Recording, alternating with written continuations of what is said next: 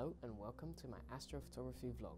Today we will be capturing the Gamma Cygni or the butterfly nebula from my backyard.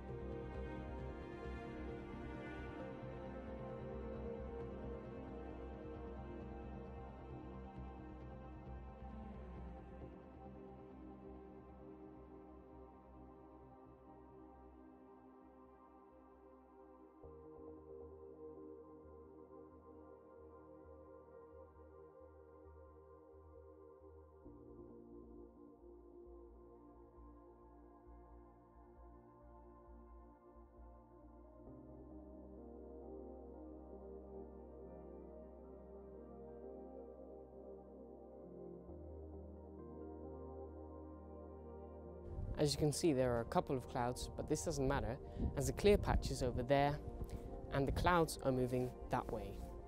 Hopefully it will be a clear night tonight.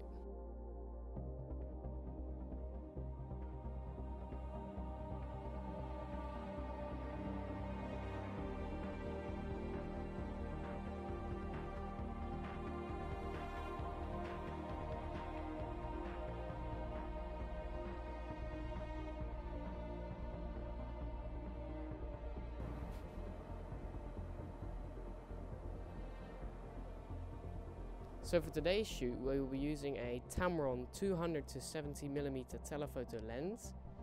As you can see here, you can easily change the zoom of this. Um, it's got a Vixen bar, which I bought separately, and it goes to f2.8, which is really good. I'm using this Canon EOS 7D. It is not modified. Uh, it is a mirror camera, so not full sensor. And since it is not modified and also since I have Bortle 8 light pollution over here, I will be using this filter. It's the Astronomik COS EOS APC APS-C clip-in filter. So now we'll attach the lens and then I'll just click it in like this and do it to manual focus and then we are good to go. I'm just going to connect the telescope now and put this to the telescope, align the telescope, and make sure that we can see things on the screen over there. Okay, so here we are. I set up the telescope and um, it is all polar aligned.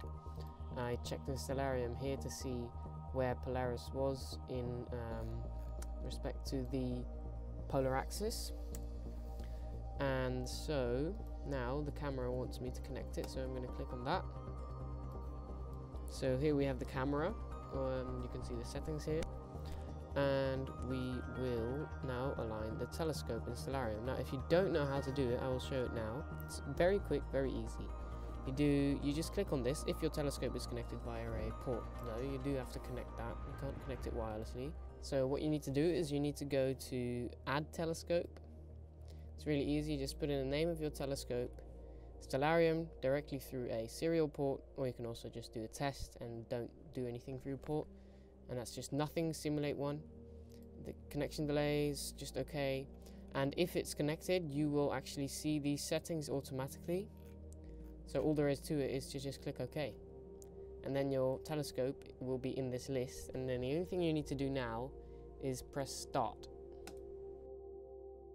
Ah, it's connected and here you get the mini screen and I usually don't use that and here you can see where the telescope is pointing right now. I put it on this star as an alignment star very close to the Crescent Nebula and the Butterfly Nebula. Now if you have a target like uh, say for example this nebula and this is my telescope well my telephoto lens now if you want to move it to the middle of the screen, press Alt 1. As you can see, the telescope is now slewing. You can also always press Control 1, but then it will only go to the marked target. So if you want to have it in the middle of the screen, Alt 1. Now to test if it's good, I'm going to do Alt 1 on uh, this bright star here. Alt 1. Slewing towards it now. And then I'm going to do a 10 second exposure. and as you can see this is very very neat because you can see there's not much haze at all. And the star is almost perfectly in the middle. Okay so I'm back. I did a complete realign and I tested um, with spinning around Polaris to see uh, how well it turns around it uh, or, or around the equatorial middle basically. And it turns around it pretty well so I'm going to test the alignment on um, let's do the Veil Nebula just to have a see what's actually there because I've never actually done this one before so I'm curious to see as well. And because I've done a realign I need to start it again voila and it is now slewing towards the Veil Nebula, which I have never photographed before. I'm going to try an exposure. I'm going to start it now. I think I might actually do this instead of the Andromeda Galaxy if it shows up really nicely in the raw frame. Because I've never done this before and I have done the Andromeda Galaxy. So yeah, hopefully, hopefully that's a new target. Or um, the Butterfly Nebula. So I'll try both. So it's about 45 seconds now. I think that's about good enough. And, ooh, wow, we really are starting to see something here. I'm going to open it in Photoshop. That looks very nice. I can already see some of the colors. So this is purely to see what's there. And you can see this nebula is showing up like that. If we go to the right, then this nebula here is showing up over there. So this is a very good candidate. And then I'm going to try it on um, the Butterfly Nebula near Sadr. I already done that one, but I'm curious to see uh, how well it does with my uh, new skills because I did that about well a couple of months ago and I only did about 20 minutes of exposure on that then because I thought that 20 minutes would be enough but clearly it's not enough 20 minutes is not enough for anybody who's thinking I thought that in the beginning I made the mistake you shouldn't be ashamed, but get more data. At least like at least two hours of data and preferably over four hours of data is very good. And it also depends on the focal length because if you've got very low light gathering power, um, the you need more exposure time. So it is almost on it, and voila, and start the picture. So now I'm going to wait for about 40 seconds. 40 seconds I think is enough for this. Oh, wow. Wow. Okay, I have found my target for the night.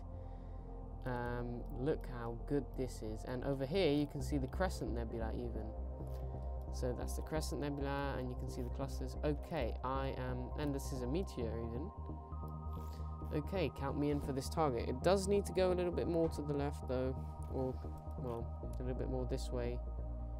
Um, but for the rest, it's this is phenomenal, so that's very good.